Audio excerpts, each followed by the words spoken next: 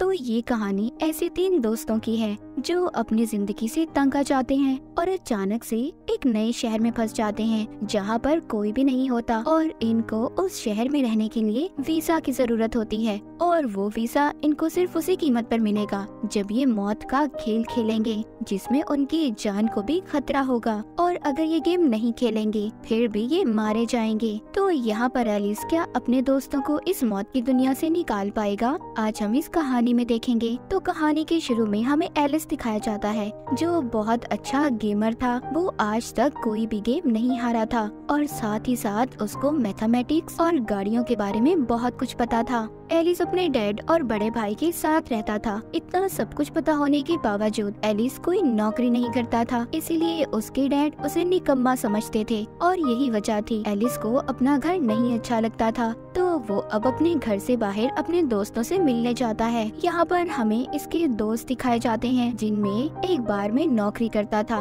मगर उसका बॉस उसे नौकरी से निकाल देता है, क्योंकि उसका चक्कर उसके बॉस की बीवी के साथ चल रहा था। फिर फिर उसके बाद आता है उसका दूसरा दोस्त, जिसको छोटा कहकर बुलाते थे, जिसकी ज़िंदगी कॉर्पोरेट की नौकरी करते हुए गुजर रही थी। महीने के आखिर में उसकी मॉम उसकी कमाई का बड़ा हिस्सा ले जाया करती थी। तो इन तीनों की ज़िंदगी को देखकर ऐसा लगता है कि तीनों ही अपनी ज़िंदगी से काफ़ी परेशान थे। मगर जब ये आपस में मिला करते थे तो अपने सभी गमों को भूल जाया करते थे। एक दिन वो सिगरेट पीते हुए सोचते हैं कि काश जोम्बी ब्रेक डाउन हो जाए, जिससे सब अपनी अपनी ज़िंदगी दोबारा से शुरू कर सके। तभी वो रोड के दरमियान में मस्ती करने लगते हैं, जिससे एक गाड़ी का एक्सीडेंट हो गया था। पुलिस भी इनके पीछे लग गई थी। तभी वो एक बिल्डिंग के बाथरूम में आकर छुप जाते हैं, लेकिन अचानक से सभी लाइट्स बंद हो जाती हैं और इनको किसी की भी आवाज़ नहीं आ रही थी। जब ये बाहर जाकर देखते हैं तो बाहर कोई भी नहीं था। पूरा शहर वीरान, सुनसान था। ना कोई जानवर, ना कोई इंसान। यहाँ तक के पूरे शहर में लाइट भी नहीं थी।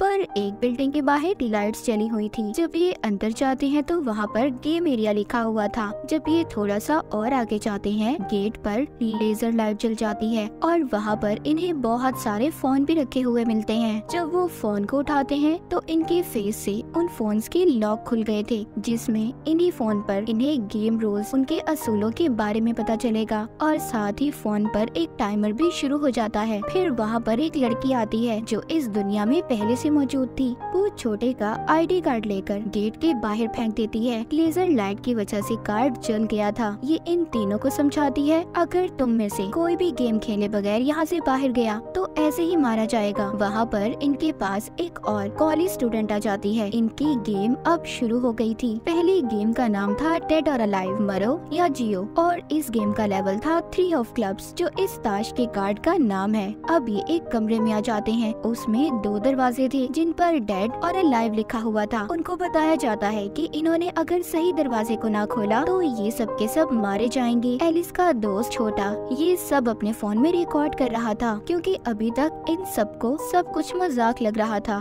तभी उस में गैस भरने लगती है। इन्होंने जल्दी किसी दरवाजे को खोलना था, वरना इनके कमरे में आग लग सकती थी। यहाँ पर जो लड़की इनको मिली थी, वो कहती है, हमें अलाइव वाला दरवाज़ा ही खोलना चाहिए। ये बात सुनकर कॉलेज स्टूडेंट बिना सोचे समझे लाइव वाला दरवाज़ा खोल देती है, जिससे वो बेचारी मारी जाती है। तभी वो लड़की डेड वाला दरवाज़ा खोलती है। सब अब वहाँ पर आ जाते हैं। ये सब के सब बच गए थे। अब सब इस गेम को सीरियस लेने लगे थे, क्योंकि इसमें इनकी जान भी जा सकती थी। अगले कमरे में आकर भी वहाँ पर दो दरवाजे थे। यहाँ पर लड़की जो इनके साथ थी, वो एलिस से कहती है, इस बार तुम्हें दरवाज़ा खोलना होगा। पर एलिस के अंदर इतनी हिम्मत कहाँ थी? उसका दोस्त जो बार में काम करता था, वो दरवाज़ा खोल देता है और उसकी किस्मत इतनी अच्छी थी कि वो सही दरवाज़ा निकलता है। सब उस कमरे के अंदर चले गए थे। अब आगे भी दो और दरवाजे थे। यहाँ पर भी इन्हें सही दरवाजे का चुनाव करना था। एलिस का दोस्त उससे कहता है, तुम्हें अपना दिमाग इस्तेमाल करना होगा, क्योंकि वो बहुत अच्छा गेमर था। तभी एलिस को याद आता है कि इस बिल्डिंग में आते हुए इसने एक मैप नक्शा देखा था, जिसमें सात कमरे थे और इन्हें यहाँ से बचने के लिए अंदर का दरवाज़ा खोलना होगा।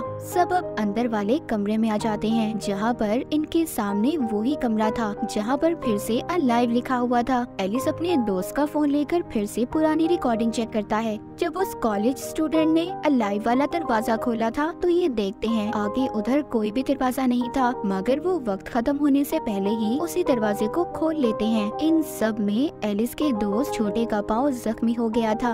ये गेम से बाहर आ चुके थे। इनके सामने थ्री ऑफ़ क्लब्स का कार्ड रखा हुआ था। तभी उनके सबके फ़ोन पर मैसेज आता है। इन सभी को तीन दिन का वीज़ा मिलता है, क्योंकि वो कार्ड थ्री ऑफ़ क्लब का कार्ड था। अब यहाँ पर आगे बढ़ने से पहले मैं आपको इनकी गेम के कुछ असूलों के बारे में बता देती हूँ। तो यहाँ पर ताश के कार्ड इनकी गेम से जुड़े हुए हैं। जैसे कि अगर उन्हें स्पेट का कार्ड मिलेगा तो गेम फ़िज़िकल एक्टिविटी पर होगी। यानी कि उन्हें खुद ही अपने आप को इस्तेमाल करना होगा। मगर अगर कार्ड क्लब का हुआ तो गेम को पूरी टीम मिलकर खेलेगी। वही अगर कार्ड डायमंड का हुआ तो दिमाग लगाने वाला होगा। और अगर हार्ट का हुआ तो उन्हें आपस में ही एक दूसरे को धोखा देना होगा। अभी भी इनको वीज़ा की समझ नहीं आई थी। असल बात तो इनको तब पता चलती है, जब इनके सामने एक आदमी मारा जाता है। एक लेजर लाइट आकर उस आदमी को मार देती है। इसका मतलब ये था कि अगर इनका भी वीज़ा एक्सपायर हुआ, खत्म हुआ तो ये सब भी मारे जाएँगे। और ये वीज़ा इन्हें तभी मिल सकता है जब ये मौत का खेल खेलेंगे। तो अब ये एक घर में आकर आराम करने लगते हैं, क्योंकि एलिस के दोस्त छोटे के पाँव में चोट लग गई थी और इनके पास वीज़ा भी तीन दिन का था। तभी ये देखते हैं कि रेडियो काम कर रहा है, जबकि बाकी सब इलेक्ट्रॉनिक डिवाइसेस बंद थी। फिर वो लड़की जो इनको यहाँ पर मिली थी, वो अपने बारे में बताती है कि वो तीन दिन से यहाँ पर फंसी हुई है और उसने दो गेम्स को खेल भी लिया है। फिर वो यहाँ पर बैठे बात करते हैं कि अचानक से सभी लोग कहाँ जा सकते हैं, कहाँ गायब हो गए। यहीं पर एलिस ये फैसला करता है कि आज रात भी वो अपने दोस्त के साथ इस गेम को खेलेगा और अगर इन्हें कोई भी इस गेम में प्लेयर मिला जो कि डॉक्टर हो तो वो छोटे के इलाज के लिए लेकर आएँगे, क्योंकि उसकी हालत बहुत ज़्यादा खराब थी। ये अब उस लड़की को अपने दोस्त के पास छोड़कर दोनों गेम खेलने जाते हैं, जहाँ पर ये गेम वाली बिल्डिंग में आ गए थे। वहाँ पर और भी तेरह प्लेयर्स मौजूद थे। यहीं पर एक सफ़ेद बालों वाले लड़के को भी देखते हैं, जो खड़ा अपनी किसी डिवाइस को चार्ज कर रहा था। हम एक और लड़की यूसीगी को भी देखते हैं, जो एक बेहतरीन माउंटेन क्लाइंबर थी। उसको पहाड़ों पर चढ़ने का बहुत शौक था, मगर उसको अकेले ही काम करना अच्छा लगता था। यहाँ पर इस गेम का नाम टैग था, यानी कि उन्हें टैगर निशानेबाज से बचना था।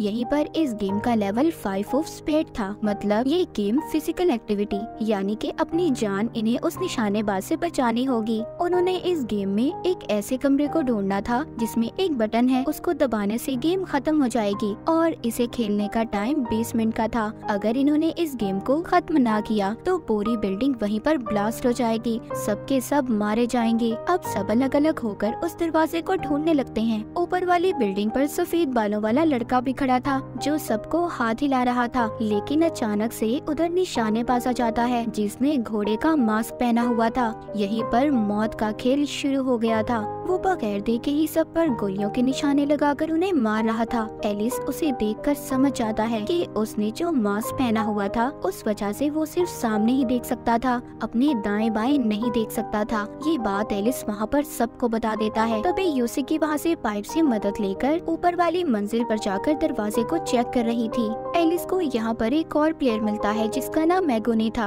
और उसने हाथ पर अजीब सी घड़ी भी बांधी हुई थी। एगोनी एक ट्रेन फाइटर था। वो अपने साथी से कहता है, तुम उस निशानेबाज का ध्यान भटकाकर नीचे की तरफ़ लाओगे और मैं उसको पीछे से मार दूँगा। जब वो उसे नीचे लाता है तो एगोनी उसे नहीं मारता, बल्कि उसकी गोलियों के खत्म होने का इंतज़ार कर रहा था और अपने साथी को मरवा देता है। एगोनी कितना अजीब है ना? वो उसके बाद उस निशानेबाज पर गैस छोड़ता है और उसे मारने की कोशिश करता है। इसी दौरान एलिस को भी एक दरवाज़ा मिल गया था, जहाँ पर बहुत सारे गोलियों के निशान थे। वरना अगर वहाँ पर कुछ ना होता तो निशानेबाज उस दरवाजे पर इतनी गोलियाँ ना चलाता। सफ़ेद बालों वाला लड़का भी इस बात को समझ गया था। वो एलिस के साथ उसी कमरे में जाता है, पर वहाँ पर उनका सामना एक और निशानेबाज से होता है। पर यहाँ पर ये सफ़ेद बालों वाला लड़का अपनी डिवाइस से उस निशानेबाज को झटका देता है, जिस डिवाइस को हमने शुरू में चार्ज होते देखा था, लेकिन वो निशानेबाज दोबारा से होश में आकर इन पर हमला करता है। एलिस बचते हुए एक और कमरे में आ गया था, जहाँ पर ये देखता है उधर दो बटन थे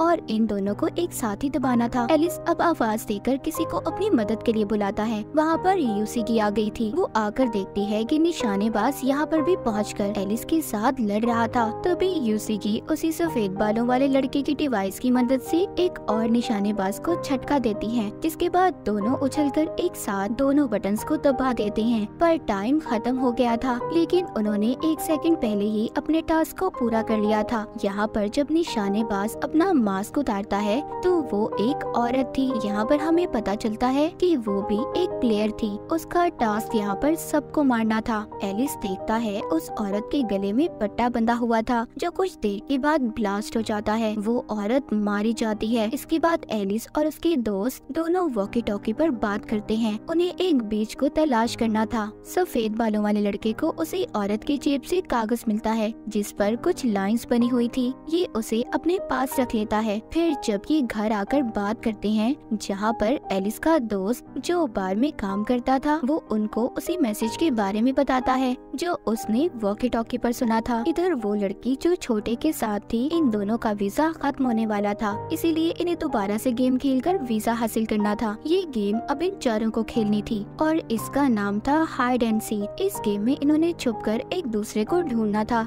इस गेम को खेलने के लिए इन्हें हेडफोन और एनिकिन दी जाती हैं। जैसे ही ये इसे पहनते हैं, इन सब की गर्दनें लॉक हो जाती हैं और इनके गलों में भी वैसा ही पट्टा आ गया था जो उस औरत की गर्दन में था। ये वो चश्मे लगाकर एक दूसरे के चेहरे को स्कैन कर रहे थे। इस गेम का लेवल सेवन ऑफ़ हार्ट था। अब हार्ट का मतलब ये है कि इन्हें आपस में एक दूसरे को धोखा देना होगा। इस गेम में एक इंसान वुल्फ भेड़िया रहेगा और उसे बाकी प्लेयर से छुप कर रहना होगा और जिसने इसे पहचान लिया, वो खुद भेड़िया बन जाएगा। गेम के पंद्रह मिनट के बाद जो वुल्फ भेड़िया बनकर रहेगा, उसके अलावा बाकी सबको मार दिया जाएगा। यानी कि इस गेम में सिर्फ़ एक इंसान ही बचेगा। जब एलिस का छोटा दोस्त ये सुनता है कि सब मारे जाएँगे, वो पागल सा हो गया था और अपना वो पट्टा उतारने की कोशिश करता है। एलिस कहता है, नहीं पागल, ऐसे मत करो, वरना ये फट जाएगा। और इसी दौरान एलिस और छोटे का आई कांटेक्ट हो जाता है। मतलब वो बहुत ही गौर से एक दूसरे को देख रहे थे। यहाँ पर एलिस वुल्फ बन गया था। अब ये सब समझ गए थे कि इन्हें वुल्फ बनने के लिए एक दूसरे की आँखों में देखना होगा। जब वो लड़की वुल्फ बनती है तो जाकर एक गार्डन बाग में छुप जाती है। वो चाहती थी कि वो पंद्रह मिनट तक छुपी रहे, उसे कोई ना ढूंढे, जिससे वो गेम में बच जाएगी। मगर इसको एलिस का बार वाला दोस्त ढूंढ लेता है। इन दोनों की आपस में वहाँ पर बहुत लड़ाई हो रही थी। एलिस भी यहाँ पर आ गया था। इन्हें छुड़वाने की कोशिश कर रहा था, मगर वो वुल्फ बन जाता है। ये दोनों अब एलिस को घेर कर उसे मारने लगते हैं। लेकिन छोटा दोस्त वहाँ पर आकर एलिस को यहाँ से भागने का कहता है। इन तीनों को यहाँ पर अपनी पुरानी यादें याद आ रही थी कि इन्होंने कितना अच्छा वक्त एक साथ गुजारा था और वो लोग कितने प्यार से रहा करते थे। मगर अब इस गेम की वजह से वो एक दूसरे के दुश्मन बन चुके थे। एलिस सब याद कर कर रो रहा था। वो अपने दोस्तों को ढूंढता है। उन्हें आवाज़ लगाता है, पर कोई जवाब नहीं देता, क्योंकि सब अब यही चाहते थे कि एलिस ही आगे इस गेम को खेले। आखिर के दस सेकंड में बार वाला दोस्त एलिस को मिल गया था। वो एलिस से कहता है कि, एलिस, तुम्हारा शुक्रिया। और एलिस की आँखों के सामने उसके दोस्त का पटा फट जाता है, जिससे उसकी मौत हो गई थी। एलिस के तीनों दोस्तों की गर्दनें उड़ गई थी। वो अपने दोस्तों की मौत पर बहुत रोता है। उसको बहुत दुख हो रहा था। अगले दिन यूसिकी जब अपने लिए खाना तलाश कर रही थी तो रोड पर वो पड़े हुए एलिस को देखती है। उसको उठाकर वो अपने घर ले आई थी। हम देखते हैं यूसिकी को घर में अकेले रहना पसंद था। जब एलिस को होश आता है तो वो उसको बताती है, तुमने गेम में मेरी मदद की थी, इसलिए मैं तुम्हारी मदद कर रही हूँ। यूसिकी उसको बताती है की मेरे डैड एक बहुत अच्छे माउंटेन क्लाइंबर थे। उनको पहाड़ों पर चढ़ने का बहुत शौक था, पर जब उनकी मौत हुई तो मीडिया वालों ने झूठी खबरें फैलाई कि उन्होंने अपनी जान खुद ली है। उसका बताने का ये मतलब था कि एक न एक दिन हम अपने प्यारों को ज़रूर खोएँगे। पर इसका मतलब ये नहीं, हम उनके साथ मर जाएँ। मौत तो तभी आएगी जब हमारा वक्त होगा। इसलिए जब तक हम ज़िंदा हैं, हमें लड़ना होगा। वो एक किस्म का एलिस को हौसला दे रही थी। एलिस उसकी बातें सुनकर उठता है और ये फैसला करता है कि वो इस गेम की हेड को ढूंढेगा और अपने दोस्तों की मौत का बदला लेगा। पर अब इन दोनों का वीज़ा भी खत्म होने वाला था। इसीलिए अभी रात को गेम एरिया एक टनल में पहुँच जाते हैं। वहाँ पर आगे जाने पर इनको बस में तीन प्लेयर मिलते हैं, जो पहले ही तीन गेम्स जीत चुके थे और इनकी काफ़ी अच्छी दोस्ती भी थी। एक प्लेयर के पाँव पर चोट लगी हुई थी। वो ठीक तरह से चल नहीं पा रहा था। इस गेम का नाम था डिस्टेंस फासला और इस गेम का लेवल फोर ऑफ़ क्लब है। यानी कि ये टीम वर्क वाली गेम थी। सबको मिलकर खेलनी होगी। इनको दो घंटे से पहले अपनी जगह पर पहुँचना था और अगर इन्होंने ऐसा नहीं किया तो आप जानते हैं कि इनके साथ क्या होगा। इनके फ़ोन में इंडिकेटर भी था, जिससे इन्हें पता चलता है कि इन्होंने कितना फासला तय करना है। ये बस को चलाने की कोशिश करते हैं, पर उसमें फ्यूल ही नहीं था। फिर ये सभी भागकर फासला तय करने की कोशिश करते हैं। इन्होंने उस टनल की दूसरी साइड तक जाना था, जो काफ़ी लंबा रास्ता था। यहाँ जिस प्लेयर के पाँव में चोट लगी थी, वो भाग नहीं सकता था। इसीलिए अपने दोस्तों को जाने का कहता है। वो जाना तो नहीं चाहते थे, पर अब खैर कर भी क्या सकते थे। अब ये उसको वहीं पर छोड़कर चले जाते हैं। जब ये भागते भागते छह किलोमीटर का फासला तय करते हैं, तभी वहाँ एक काला पैंथर आ गया था, जो उनमें से तीन प्लेयर में से एक प्लेयर को खा जाता है, जो इन्हें बस में मिले थे। जब पैंथर उसको खा रहा था तो बाकी के तीनों मौका देखकर आगे भागते हैं। जब आगे जाते हैं तो एलिस उधर एक बाइक देखता है। अब बाइक में फ्यूल तो था। लेकिन बैटरी नहीं थी, इसलिए ये इस बाइक को वापस से बस की तरफ़ ले जाने का फैसला करता है, ताकि बस में इस बाइक का फ्यूल डाल दे, और जो बस में प्लेयर है, जिसकी टांग पर चोट लगी हुई है, वो भी बच जाए। इधर यूसिकी और उसके साथ एक प्लेयर टनल के आखिर तक आ गए थे, मगर उधर पानी के बैरियर्स थे, जिसमें बहुत सारा पानी था, और गेम के खत्म होते ही वो पानी टनल में आएगा। सबके सब मारे जाएँगे। पानी अब टनल में आने लगता है। वो प्लेयर जो यूसिकी के साथ था, वो उसे बचाने की कोशिश करता है। एलिस भी बस को लेकर आ गया था, जहाँ पर यूसिकी अपना हाथ एलिस की तरफ़ बढ़ाती है, जिससे वो तो अब बस में आ गई थी, पर उनकी बस पानी में डूब जाती है। जब पानी वापस जाता है तो ये निकलकर बस के ऊपर खड़े हो गए थे। ये बस में लिखा हुआ गोल देखते हैं, जिसे देखकर एलिस परेशान हो गया था। वो समझ गया था कि फ़ोन पर हमें तभी ज़ीरो डिस्टेंस नज़र आ रहा था। वो तो शुरू से ही गोल में बैठे थे। ये तीनों इस गेम को जीत गए थे, जिसके बाद एलिस और यूसिकी एक पुल के नीचे खड़े होकर बात कर रहे थे। एलिस उसको एक बीच के बारे में बताता है। कहता है, हमें इस गेम के हेड को ढूंढना होगा। क्या पता वहाँ उस जगह पर लोग भी हों। ये अब कुछ दिन तक हेड को ढूंढते रहते हैं। इसी दौरान यूसिकी एलिस को शिकार के तरीके भी बताती है। इनकी दोस्ती अब काफ़ी अच्छी हो गई थी। एक दिन यूसिकी और वो गेम एरिया में सभी प्लेयर्स पर नज़र रख रहे थे। वो उनके हाथ पर वही अजीब सी बंधी हुई घड़ी को देखते हैं, जो हमने एगुनी के हाथ और उसके साथियों के हाथ पर बंधी देखी थी। ये समझ गए थे कि जिन लोगों ने घड़ी पहनी हुई है, वो एक खास ग्रुप का हिस्सा है, जो गेम के बाद ज़िंदा बचते हैं और गाड़ी में बैठकर निकल जाते हैं। ये दोनों उस गाड़ी का पीछा कर रहे थे। ये पीछा करते करते एक जगह पर पहुँच जाते हैं। इन्हें एक होटल नज़र आता है। ये देखकर सोचते हैं कि पूरे शहर में बिजली नहीं है, पर यहाँ पर पूरी बिजली है। इतने में कोई वहाँ पर आकर इन्हें बेहोश करके अपने साथ ले गया था। जब इनको होश आता है तो इनके सामने कुछ लोग थे। वहाँ पर एक आदमी, जिसको सब हेटर कहते थे, कहता है, मैं यहाँ का किंग हूँ। और उसको रियल वर्ल्ड असल दुनिया में भी जाने का रास्ता पता था। उधर दीवार पर सभी ताश के कार्ड्स थे। वो बताता है कि यहाँ के सब लोग मेरे खास आदमी हैं। वो गेम को जीतकर मेरे पास कार्ड्स को जमा करवा देते हैं। और अगर तुम में से किसी एक को भी सारे कार्ड्स मिल जाते हैं तो एक ही असल दुनिया में जा सकता है। वो इनको कहता है कि तुम्हें अब एक और गेम खेलनी होगी। वो ये कि अगर तुम जीत जाते हो, तुम्हें उसी कार्ड को मेरे पास जमा करवाना होगा। और अगर ऐसा नहीं किया तो तुम जानते ही हो तुम्हारे साथ क्या होगा। एलिस और यूसिकी के पास कोई और रास्ता नहीं था, इसलिए दोनों हैटर की बात को मान लेते हैं। रात को ये जब सबके साथ गेम खेलने जाते हैं तो वहाँ पर एगोनी और सफ़ेद बालों वाले लड़के को भी देखते हैं। इस गेम में इन्होंने चार जंगली जानवरों को मारना था, जिसमें पिग टाइगर पैंथर और ईगल है। एगोनी की टीम के पास हथियार थे। इसीलिए आराम से वो जानवरों को मार देते हैं। उधर दूसरी तरफ़ यूसीके की टीम को एक टास्क दिया जाता है कि उन्होंने अंधेरी बिल्डिंग में एक नंबर को ढूंढना था और उनके पास सिर्फ़ नौ माचिस की तिलिया थी। यूसीके को भी वो नंबर मिल जाता है। असल गेम तो एलिस के साथ थी। एलिस को एक लड़की, जो कि एक सर्जन थी हैटर के ग्रुप से थी। इसीलिए एलिस का टेस्ट ले रही थी कि वो काबिल है या नहीं, कि उसे हैटर की टीम में रखा जाएगा या नहीं। जो एलिस के साथ ही लोग गेम खेलने वाले थे, उसका नाम था लाइट बल्ब। सभी प्लेयर्स को बिजली के ट्रांसफार्मर्स के नीचे खड़ा किया जाता है और टनल में भी पानी भर रहा था। इस गेम का लेवल था फोर ऑफ़ डायमंड्स। मतलब यहाँ पर एलिस को अपना दिमाग लगाना था। इनके सामने एक बल्ब था और सामने तीन स्विचेस थे, ए, बी और सी। इन्हें पता करना था कि किससे बल्ब चलेगा मगर इनकी असल परेशानी ये थी कि बल्ब वाला दरवाज़ा बंद हो जाएगा, इनको नहीं पता चलेगा कि बल्ब चल रहा है या नहीं। वहीं पर एक लड़की तारों को जब चेक करती है तो बेचारी बेमौत मारी गई थी। पर एलिस अपना दिमाग लगाता है और इस टास्क को भी पूरा कर लेता है। मतलब बी से स्विच चलाना था। उस सर्जन को जवाब पहले ही पता था, पर वो एलिस को कुछ भी नहीं बताती। अब खैर एलिस दोबारा से होटल आता है। एलिस को हैटर के सामने पेश किया जाता है, क्योंकि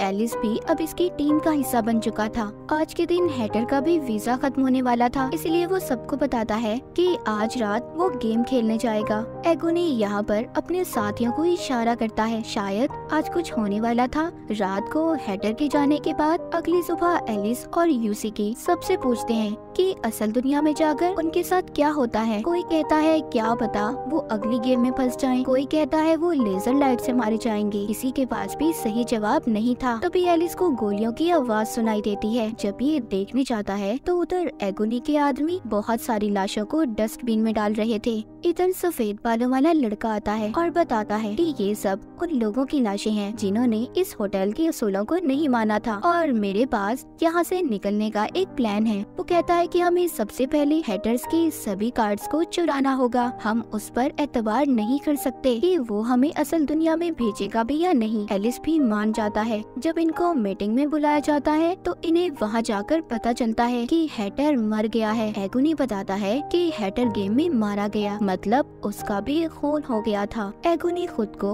उसके मरने के बाद वहाँ का किंग बना लेता है। जब सब प्लेयर्स को ये बात पता चलती है कि एगुनी अब उनका नया किंग है और हैटर मर चुका है। सभी बहुत परेशान हो गए थे। इसी दौरान सफ़ेद बालों वाला लड़का एलिस को एगोनी के कमरे में भेजता है, ताकि उसकी तिजोरी में से वो सभी कार्ड्स को चुरा सके। ये एलिस को जब पासवर्ड बताता है तो वो गलत था। वहाँ पर सायरन बजने लगते हैं। सफ़ेद बालों वाले लड़के ने पासवर्ड तो सही बताया था, पर एलिस गलत तिजोरी की तरफ़ चला गया था। जब एगोनी के आदमी एलिस को पकड़कर मार रहे थे तो एगोनी वहाँ पर हिरन वाली पेंटिंग की तरफ़ देख रहा था। सफ़ेद बालों वाला लड़का समझ गया था कि तिजोरी उस पेंटिंग के पीछे है। उधर एलिस को इन लोगों ने पकड़ लिया था। आज रात उसका वीज़ा भी खत्म होने वाला था। दूसरी तरफ़ सफ़ेद बालों वाला लड़का तिजोरी तक पहुँच गया था और सभी कार्ड्स को चुरा कर अपनी दोस्त के साथ होटल से बाहर जाने लगता है। उसकी दोस्त को जाते हुए एलिस के बारे में बुरा लग रहा था। जब वो होटल से बाहर जाने लगते हैं तो देखते हैं होटल पर लेजर लाइट थी। मतलब आज रात गेम एरिया उनका होटल ही था।